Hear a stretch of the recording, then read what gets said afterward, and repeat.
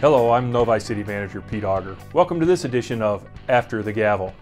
Here's some what happened at the last City Council meeting. There were several presentations again this week, starting off with the Novi Chamber of Commerce's Business Recognition Awards.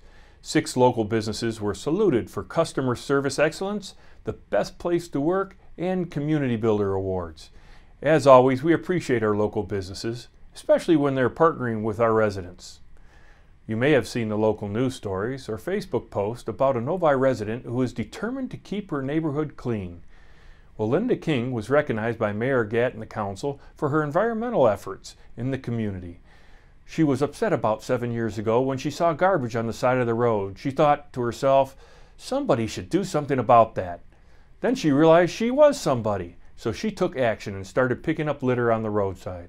Thank you for being an outstanding citizen, Linda, and we're grateful to have you as a resident of Novi.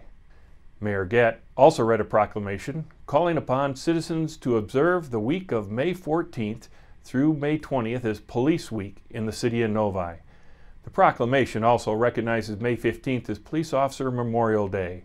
We understand that our police officers play an essential role and we thank them for their service.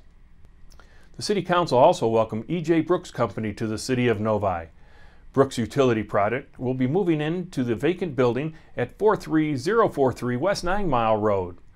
The company is expected to bring about 125 jobs to Novi and fill up a long-term unoccupied building.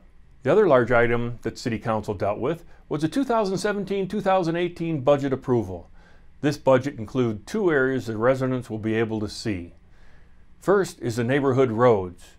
City Council put special emphasis on focusing dollars in the neighborhood roads over the next four years in what can be considered a very aggressive panel replacement program. We are spending a million dollars in the next year alone on this project. The second area the public will notice is through the capital improvement projects. Items such as finishing the ITC Trail, a new parks and recreation facility at Lakeshore Park, and building on to the Department of Public Services building, which will make us much more efficient well into the future. That's all for this edition of After the Gavel. You can view the meeting agenda or the meeting in its entirety at our website, cityofnovi.org. Hope you have a great week.